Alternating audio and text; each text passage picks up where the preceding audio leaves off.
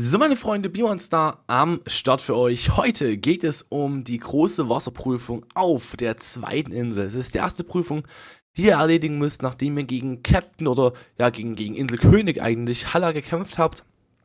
Und ja Leute, auf Insel 2 kann man schon sagen, es werden die Daumenschrauben angezogen. Gerade was die Prüfung betrifft, sie sind teilweise richtig, richtig knackig. Und zwar nicht die Prüfung allgemein, die sind meistens relativ einfach sogar. Es geht um die Herrscher-Pokémon. Und hier haben wir Lussardin in der Schulform als Herrscher-Pokémon. Und wir halten fest, Leute, Lussardin in der Schulform, damit ist nicht zu spaßen. Das sage ich euch so, wie es ist. Damit ist absolut nicht zu spaßen. Dieses Pokémon ist knackig, knackig stark. Denn, ich suche mal ganz schnell die Stats raus nebenbei. Es hat richtig, richtig krasse Stats. Und es hat auch Pokémon dabei, die es sehr, sehr gut supporten. Beziehungsweise ein Pokémon, was es wirklich sehr, sehr gut supportet. Und zwar hat Lussardin in der Schulform ähm, 45 HP, 140 Attack, 130 Defense, 140 Special Attack, 135 Special Defense und 30 Speed. Ja, man muss dazu sagen, es ist auch langsam, aber es kann dafür auch relativ viel tanken, denn es ist bulky wie Sau. Und Ihr habt ein Problem bei diesem Pokémon. Ihr habt ein großes Problem, wenn dieses Pokémon ein Marmolida als Unterstützungs-Pokémon dabei hat.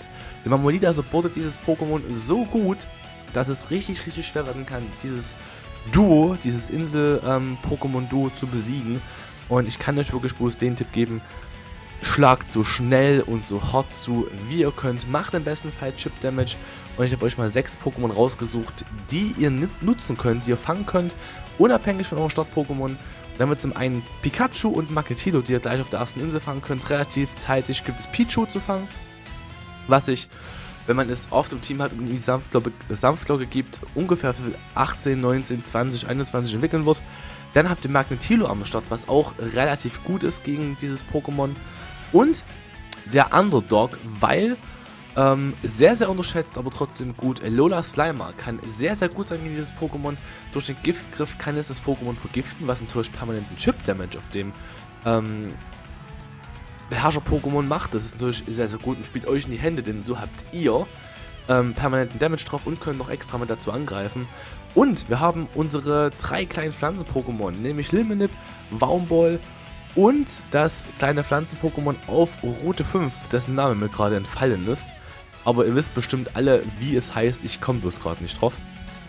Ähm, es ist relativ schwierig, dieses Pokémon zu besiegen. Es ist nicht unmöglich, aber es ist relativ schwierig. Seid auf Level 20, das kann ich euch schon mal als Tipp mitgeben. Level 20 ist eigentlich so das, was ihr sein solltet auf jeden Fall, wenn ihr da reingeht in diese Prüfung. Imantis heißt das Pokémon, Imantis. Und ähm, nehmt Tränke mit, nehmt Beleber mit, so viel ihr könnt, denn es kann wirklich sehr, sehr schwer werden. Insel 2 ist nicht von schlechten Eltern, gerade was die Prüfung angeht. Wir kommen ja auch zur Vorprüfung und bei der Pflanzenprüfung bin selbst ich abgekackt einmal. Und das ist auf jeden Fall nicht gerade so easy wie gedacht, denn die erste Prüfung ist auf jeden Fall relativ leicht gefallen, aber Prüfung 2, 3 und 4, also Pflanze, Feuer, Wasser, sind gar nicht mal so easy. Und wie gesagt, ihr habt halt mit diesen sechs Pokémon eine gute Option, das zu gewinnen. Ihr müsst natürlich nicht alle sechs mitnehmen. Es reicht zu, wenn ihr keine Ahnung, wenn ihr sowieso schon Alola Slimer trainiert, eventuell noch ein Pikachu und eine Pflanzen-Pokémon mitnehmt, dann habt ihr eigentlich ein gutes, aus, ausschlagkräftiges und aussagekräftiges Team. Ihr seht schon, rechte Hand supportet das Pokémon, es macht noch mehr Damage und ich konnte mich hier wirklich nur durchkämpfen mit meinem kleinen Bautz, weil Rasirbat hat beide, beide Pokémon ange, äh, angehittet und das war halt ziemlich, ziemlich gut in der Situation und mein Bautz hat halt einfach sau viel getankt. Das seht ihr schon, die Knoche macht selbst nach dem Boost von rechter Hand nicht viel Damage und das war halt mein großes Glück. Also wenn ihr Bautz als Pokémon habt, könnt ihr Beispiel Bautz mitnehmen als Pflanzen-Pokémon, aber alle anderen mit Robball und Flamiau nutzen im besten Fall die Pokémon, die ich da aufgelistet habe. Und ich würde sagen, das war's von der Wasserprüfung. Wir sehen uns dann im nächsten Video mit der Feuerprüfung. Und wenn es euch gefallen hat, lasst bitte ein kleines Däumchen nach oben da. Ihr könnt auch gerne zuschreiben, was ich eventuell verbessern sollte in den Videos. Und ja, ich bin sehr gespannt über eure Kritik. Eventuell könnt ihr dazu schreiben, ob ihr die Prüfung relativ einfach fandet, ob ihr Probleme hattet, ob ihr es nach dem dritten Versuch erst geschafft habt. Würde mich mal interessieren, wie ihr die ganze Sache so findet. Die Inselprüfungen sind keine schlechte Idee. Ich habe sie selbst nicht so cool gefunden am Anfang, aber mittlerweile finde ich sie sehr anspruchsvoll, gerade was diese schwereren Sachen angeht.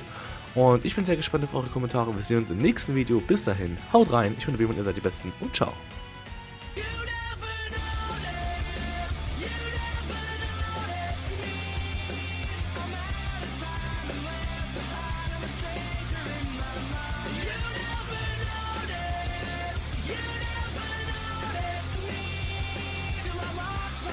Inside my room, I'm a stranger in my home.